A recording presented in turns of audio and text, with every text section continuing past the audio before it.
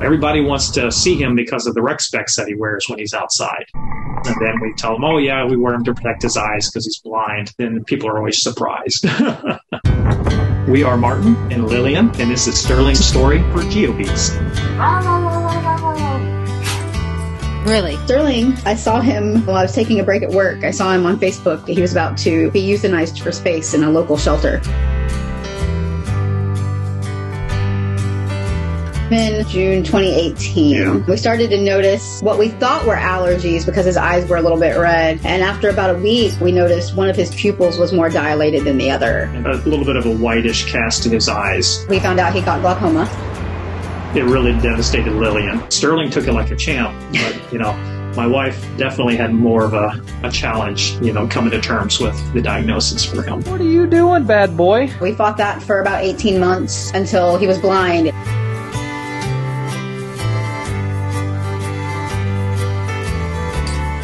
And promised him that he would continue to have his happy life and adventure.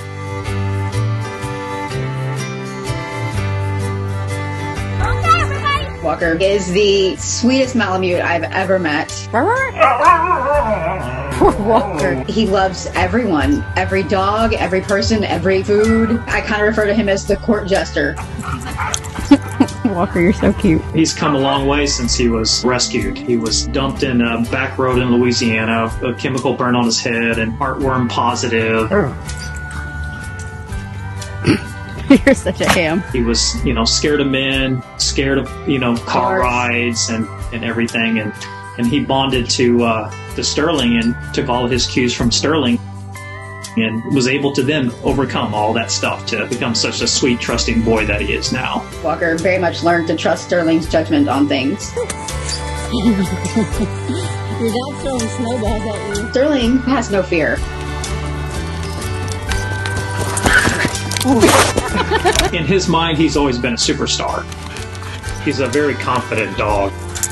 He thinks he can do anything. He's the center of attention. On walks, anytime we pass anybody, he just always assumes they want to stop and pet him. That's Sterling. Showing you and her see how far you can go. Half the time, we're having to rein him back a little bit just to make sure he doesn't run into a tree or whatever else. He still thinks he can lead because he thinks he knows where he's going. He's still the same today as he was before. The only thing is, he's just a little bit more of a mama's boy, but I've seen the trust grow since he went blind. He trusts that I'm not going to put him in a position that's going to hurt him.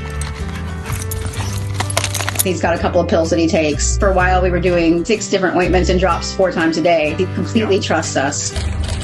He loves running. It's an essential part of his happiness. Go, Big Bear, go! Now that he's blind, he doesn't want to run quite as fast as he used to, but he still trusts me to guide him around whatever obstacles there are. The only dog he really plays with and wrestles with is Walker.